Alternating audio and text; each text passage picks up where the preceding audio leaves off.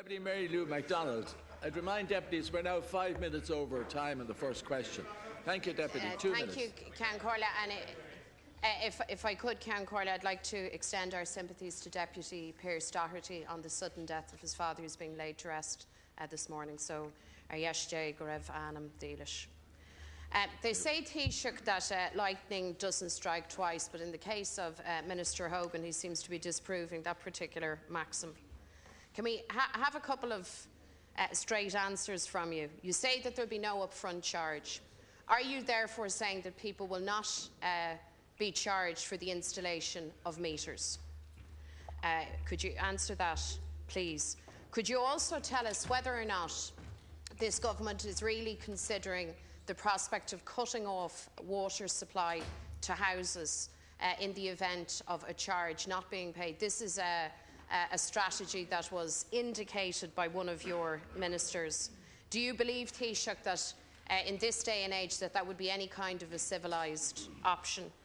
Uh, and can I ask you, Taoiseach, you say that there will be a number of years uh, for the details of this scheme to be worked out.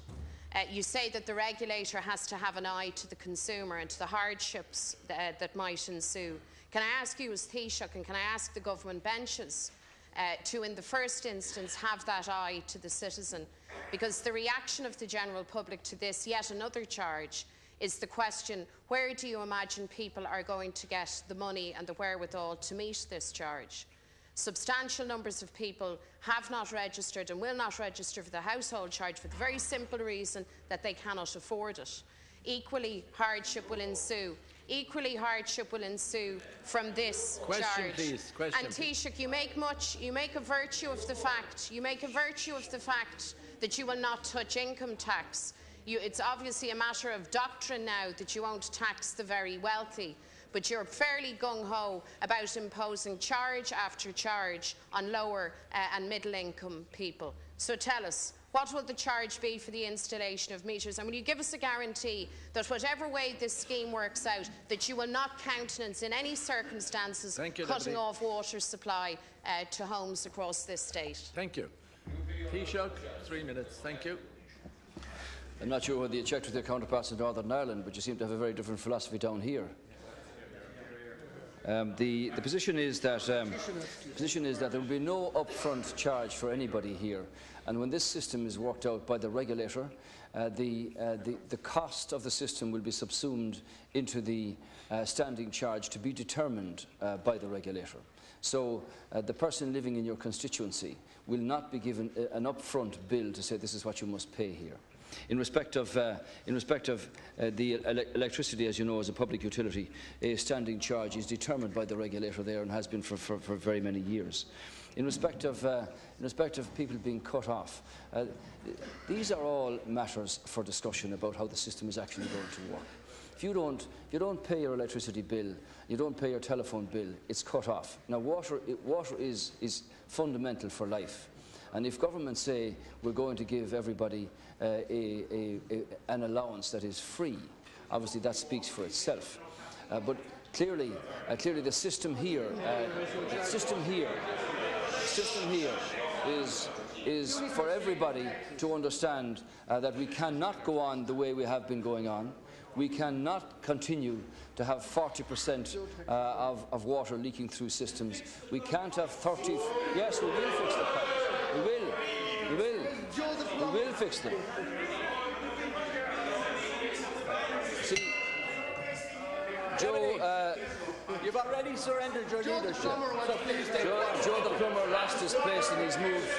He's moved further to the right. For your information as well, for your information as well, uh, De Deputy, you, you can take it. You can take it. You take it as a given that in the general discussions that take place about this, uh, the priority of government is to see and reflect and understand the difficulties that many people have. But as I've explained to you on many occasions in the past, troika or no troika, This country has got to sort out our public financial problems ourselves. There is nobody going to walk in with the cheque and say it's all paid for. So it's everybody is involved in this, and government understand, and that's why we've introduced waivers and exemptions uh, and regulations that lessen the burden in respect of those people who have real difficulty here. Uh, the question was asked yesterday of somebody, is there VAT going to be imposed in this water? The answer to that question is no, because VAT is exempt, as you know, under European, under European regulation. Thank you. So the, the cost of the installation of the meters, I've seen even in today's papers reflections of various costs of meters from 30 euro to 200 euro to 300 euro and the cost of installation varying in various locations around the country. That's all a matter for discussion and a matter for determination uh, by uh, Bord Gáis when they set up Irish Water together with the, uh, with the, with the regulator. As I said, Deputy McDonald, the government will determine what the, um, what the uh, allowance to be free uh, allocation actually Thank you, is. Taoiseach. One minute, But just to set the record straight, over a billion pounds sterling has been invested in water improvement in the north.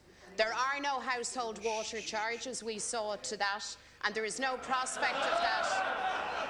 And and there is no prospect of the service being privatised. Those are those are the facts. Those are the facts, Taoiseach. Sorry, would you please? I find it would you please ask your supplementary question, I Deputy? find it absolutely astonishing that you say that it will be a matter for discussion whether or not water supply would be cut off to houses and homes across this state. I find that that is a direct quote, Taoiseach. This will be a matter for discussion.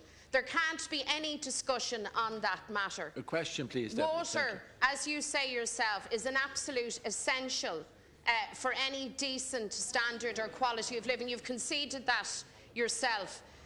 You say that the speculation as regards the costs uh, that are doing the rounds in the public uh, arena are just speculation. But in the absence of any clarity from the government, there will be that speculation. Thank you. You have failed Thank this Deputy. morning to answer in any substantive way for the citizens of this state what level of charge they will be facing. And most astonishingly, you will you, not Deputy. rule out the prospect of cutting off water supply to people's homes. thank- I think that is a disgrace, Taoiseach, and I'd ask you, when you get to your feet again in a moment's time, to make it crystal clear to people We're who are watching please. this Thank you. very, very worried that the water supply to their homes will not be jeopardised. Thank you. Sorry, now, would you allow the Taoiseach to reply? He's a minute to reply. Thank well, you. let me repeat for you as I did for Deputy Martin. What the government decided yesterday was that Irish Water would be set up as a publicly owned utility. Well, well let me, well, let me, well, let me just remind you. Well, let me just remind you, and, and let me just remind you uh, that you might remind your leader, that you might remind your leader, and I un- understand he's, he's at the, uh, at the Sucre of Micheál Doherty, and our sympathies to Deputy um, Pearse Doherty on the loss of his, on the loss of his father. Um, let me remind you that the, the comment made by, uh, by your leader yesterday was that this was about the privatisation of, of, water in Ireland. It is nothing of the kind, Deputy Martin, or Deputy McDonald, nothing of the kind. Uh, in fact, the, the, leg- the legislation will even strengthen the position that this is a publicly owned utility, and that's why when the expressions were sought for who might run and set up Irish Water, it was two existing semi-state bodies which responded to that, uh, not private companies uh, that would be, uh, in, the, in the words of Deputy Donnelly, having a, a contract or tender awarded to them for the privatisation of water.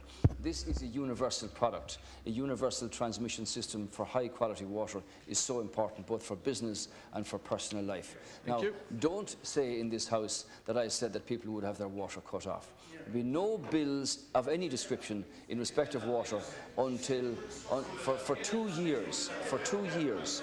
The second thing is that when you say Sorry, when would you you say please? We're over time. Would you the, please? the Stop ESB have been a public utility now, as I said to Deputy Martin, for very many years, and yet you cannot determine what the cost of electricity will be in three years' time or five years' time, because you don't know what the geopolitical effects of, of, uh, of events abroad might well be. If I said to you that the, the Cabinet decided yesterday to go ahead with Metro North, you'd ask me what are the, what are the costs of the tickets.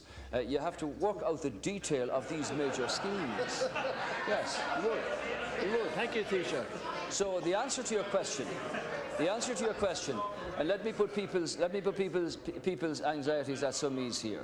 Uh, uh, Bord Gáis will set up Irish Water as a, as a, as a publicly owned utility. There will be 2,000 jobs for young men and young women in, in, in, the installation of water meters.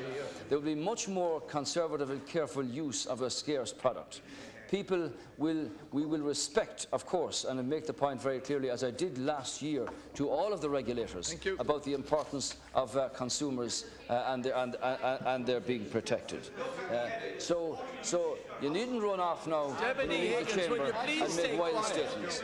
And as for you, as for you, welcome back, Joe the plumber. Thank you. Uh, Deputy Shane.